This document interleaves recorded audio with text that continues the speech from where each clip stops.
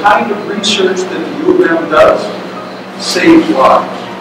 Specifically, it saved my wife's life.